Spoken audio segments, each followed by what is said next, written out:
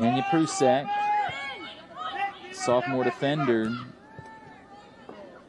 Paige Sim comes way too far out to not hit the ball, unfortunately. Columbia able, able to hold on to the ball. Opportunity in the middle of the pitch. Barnes whiffs.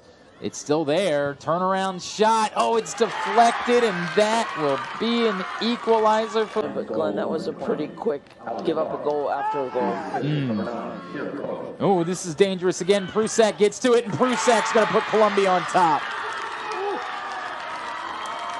On some of the flags along the near side stanchions, just adjacent to the sideline. Takeaway for Columbia.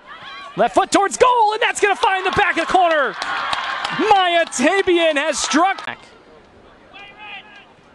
Right foot out swinging, top of the six, loose in front, still loose, turnaround shot, and it's in! And we're level at two. Shira Cohen has tied it.